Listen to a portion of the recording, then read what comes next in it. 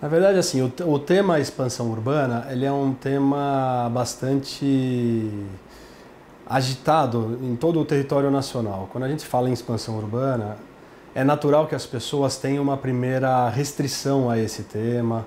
Elas refletem diretamente a questão de impactos ambientais, sociais na cidade. E a gente está aqui hoje para conversar um pouco com o Ministério Público sobre isso mostrando uma ótica técnica da questão da expansão. A expansão pela necessidade das cidades desenvolverem e da necessidade das cidades seguirem regras. Que o maior vilão do desenvolvimento urbano não é a cidade formal, mas sim a cidade informal, aquela cidade que ela cresce por demanda e por necessidade. E se o planejamento da cidade não estiver pronto e apto a trabalhar em cima dessas questões, a cidade acaba desenvolvendo de uma forma não planejada. Isso sim traz impactos severos à sociedade. Eu estou trazendo aqui para Goiânia um exemplo da cidade de Campinas, no estado de São Paulo. É uma cidade que, em números, ela tem alguma proximidade com Goiânia, apesar de não ser capital. É uma cidade com seus próximos um milhão e meio de habitantes, que teve um plano diretor recém-aprovado, que tratou da expansão urbana. E lá, essa discussão toda envolveu toda uma sociedade, houve bastante debate em torno da questão.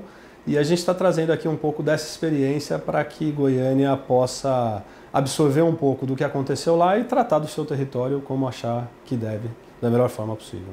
Lá em Campinas, é, culminou com um plano diretor que reconheceu a expansão como uma necessidade. É, o Ministério Público do Estado de São Paulo entrou com uma ação direta de inconstitucionalidade, questionando o processo participativo dessa ampliação do perímetro. Esse, esse caso foi para a justiça, o juiz acabou entendendo que houve sim a participação popular das entidades de classe, da sociedade como um todo, e que era um clamor sim da sociedade geral. Então o plano foi aprovado e hoje ele está vigente. Por isso é um caso de, de sucesso, podemos chamar assim. Os principais problemas eu vejo que eles estão na ótica econômica, na ótica social e também ambiental.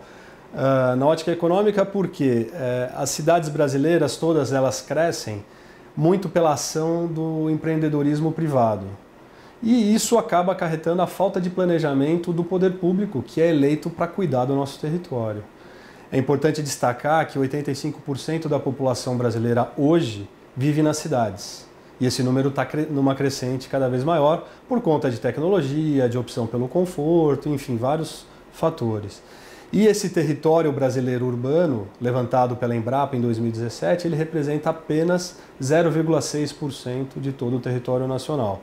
Ou seja, 85% da população vivendo num território de apenas 0,6%.